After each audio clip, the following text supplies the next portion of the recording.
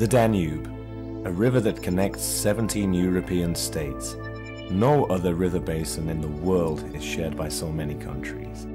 It is the source of water for millions of inhabitants, as well as an important trade route, fishing and recreational zone. To protect its quality, the Danube River has been taken care of by scientists, regulatory bodies and politicians in the whole river basin.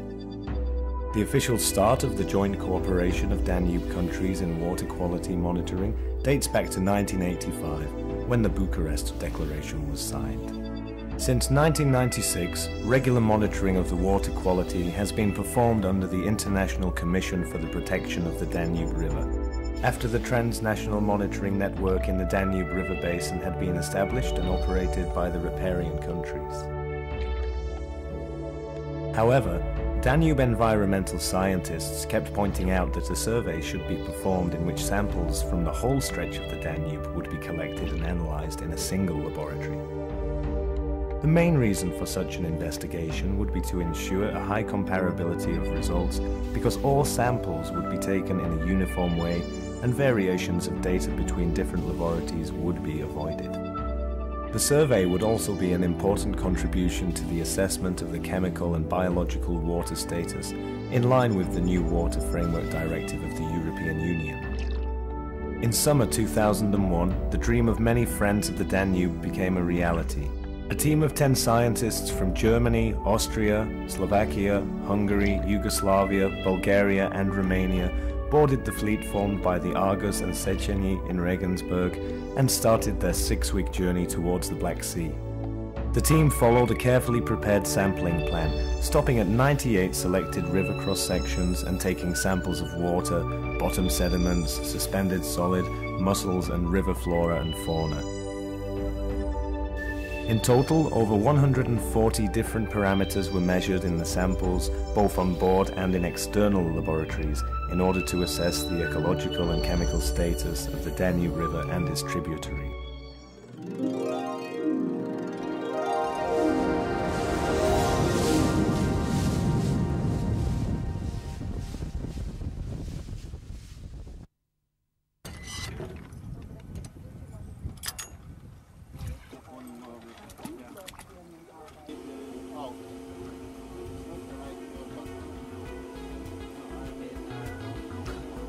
Water samples were taken either by a special sampling device or pumped directly to the Argus laboratory.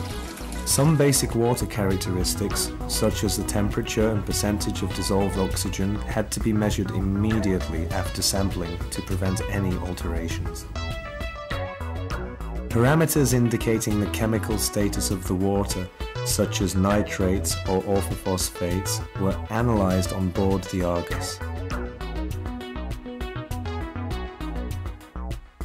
An estimation of the content of nitrogen and phosphorus compounds, which are called nutrients, was essential for the evaluation of the water potential in the eutrophication processes. Small amounts of biodegradable substances, such as nitrogen and phosphorus, are acceptable or even vital for the well-balanced aqueous ecosystem, while excessive concentrations lead to deterioration of aquatic life conditions. Various organic solvents may be discharged into the river as a result of human activity. The preparation of water samples for the analysis of those volatile substances required special attention to prevent any losses of analyzed compounds.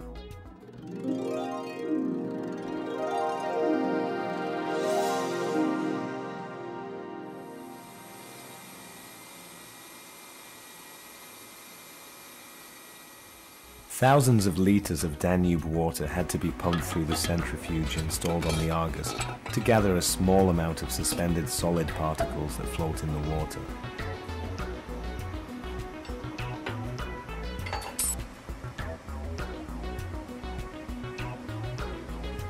Because many persistent micropollutants may accumulate on the surface of these fine particles, their analysis reveals presence of toxic substances in the aquatic system.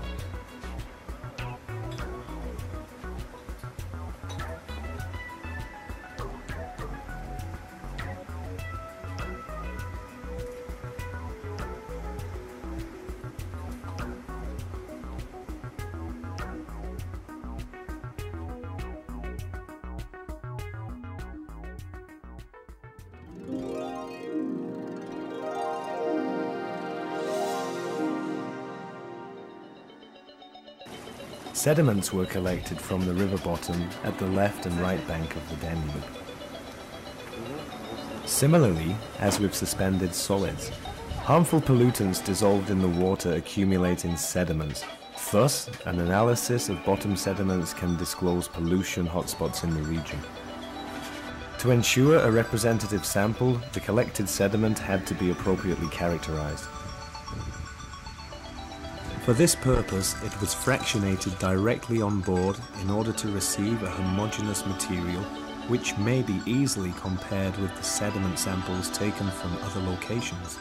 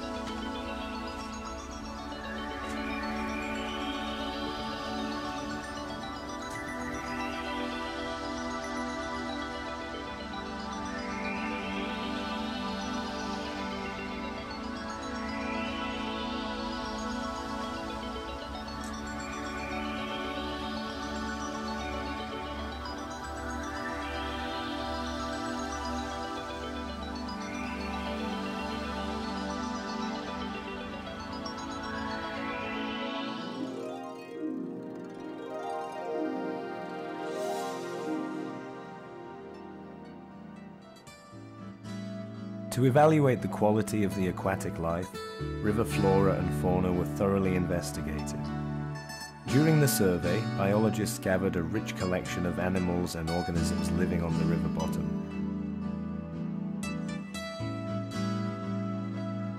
Macro and microalgae attached to stones, wood and soft sediments, different kinds of water plants, algae, bacteria, and floating animals were examined.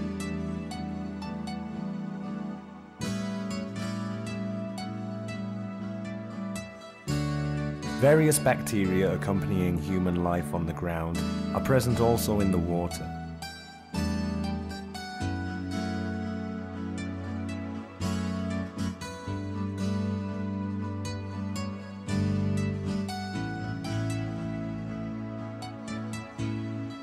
Any human contact with water having an elevated concentration of harmful microorganisms may cause health problems.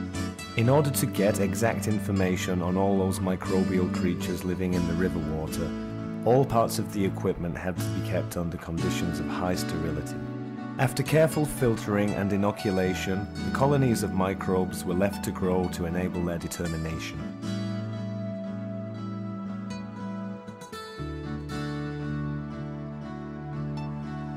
The net was used to sample phytoplankton and zooplankton, small organisms and plants floating in the water. Knowledge of the content of chlorophyll A as a parameter of algal biomass is necessary for the evaluation of the extent of the eutrophication process in the river.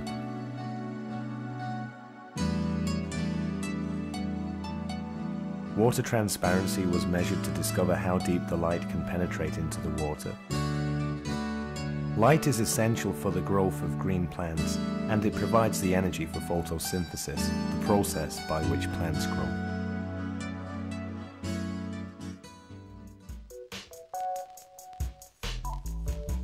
But not only microscopic plants were in the scope of interest of the research team.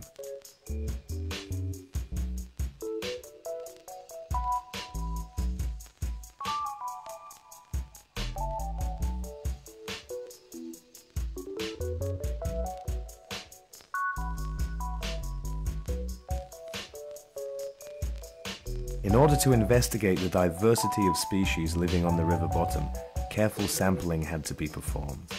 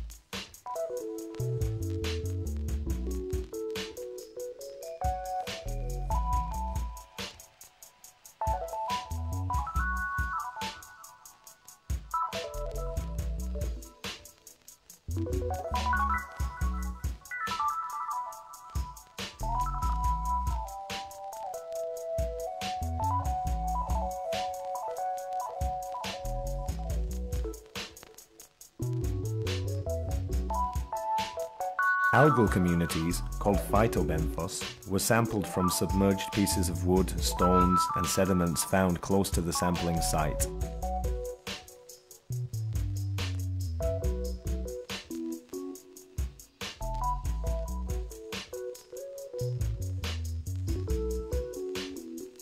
Mussels living in the river water have the bad luck that they accumulate pollutants which are dissolved in the water.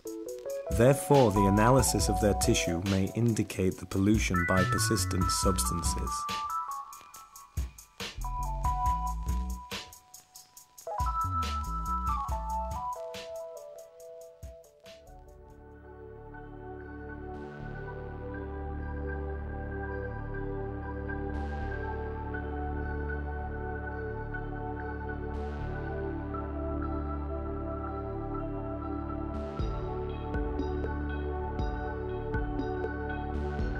The investigation of biological communities living on the river boulders provides information not only on the biodiversity at the particular location, but also indicates the presence of polluting substances.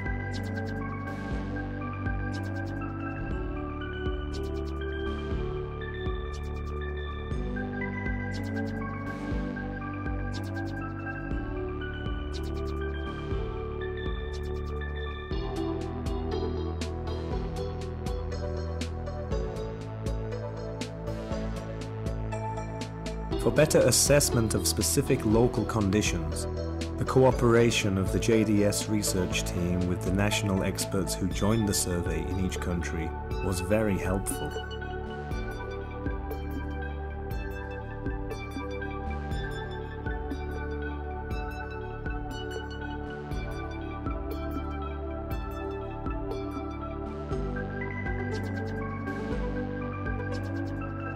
The preliminary analyses were performed directly on board the ship.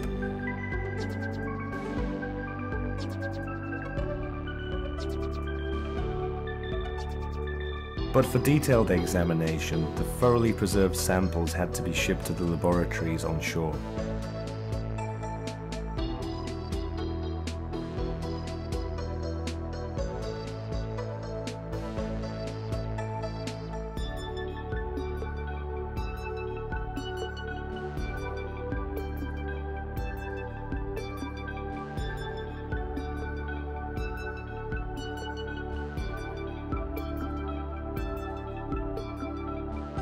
Part of each sample will stay stored for several years in the central storage facilities in Hungary and Germany.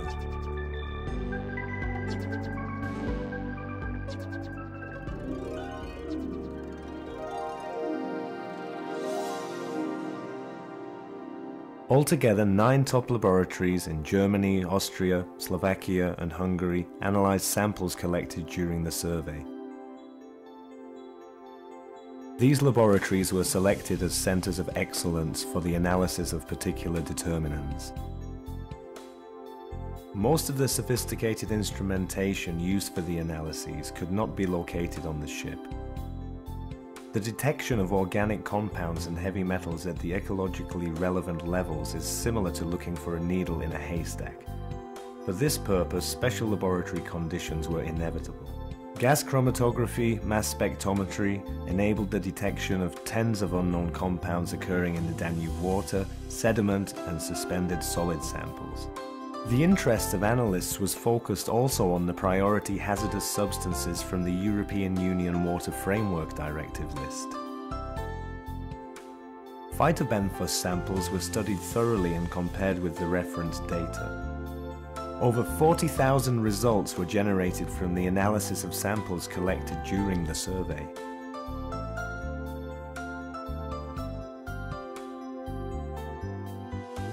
For future scientific needs, all data had to be archived in a database so as not to lose a single result.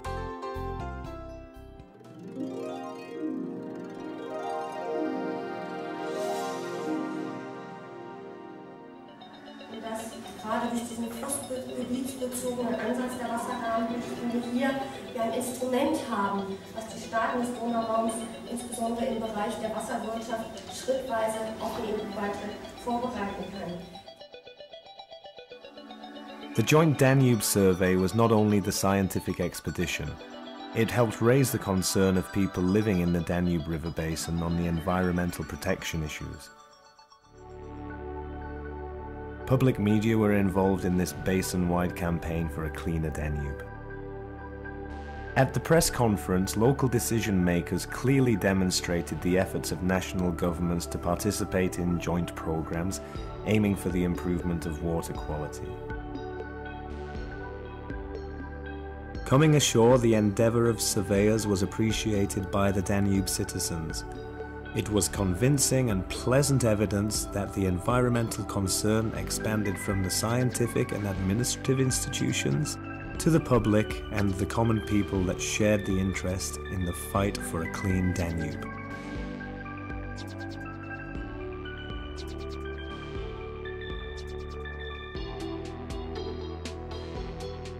The survey was really a challenge to keep to the tight time schedule and to pass through all the critical parts of the Danube, such as the area of the bomb bridges in Novi Sad in Yugoslavia.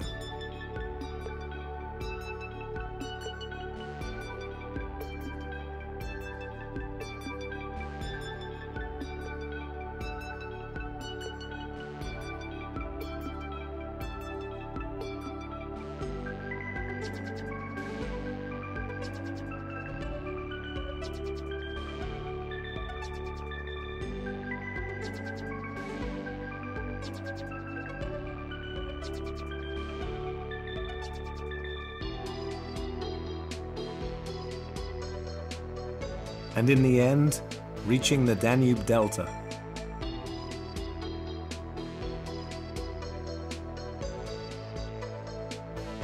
Time to relax, time to go home.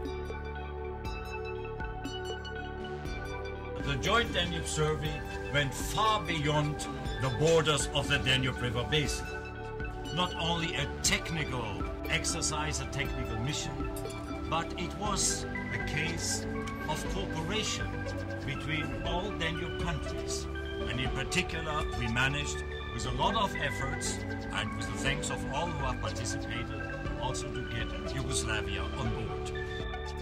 The 2,581 kilometre long journey that started in Germany on a sunny August day was over, and in front of the Argus was the undisturbed horizon of the Black Sea.